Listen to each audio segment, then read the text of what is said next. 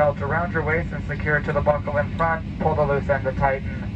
Just before leaving the aircraft, inflate the vest by pulling down sharply on the red tab or by blowing into the tube.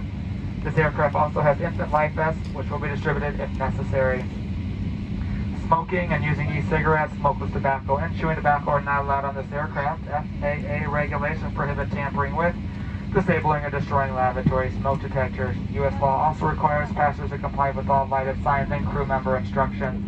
We'll be taking off soon. Please bring your seat back up, close your tray table, fasten your seatbelt, return your headrest and footrest to their original position. Food or beverage items must be collected or put away for departure. We'll be coming by to collect any remaining items, including those alcohol wipes we passed out earlier.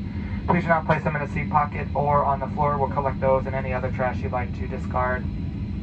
To further protect your safety, both flight attendants and customers are wearing a mask on all United flights. In the event oxygen is needed on today's flight, remove your face covering first before donning your oxygen mask.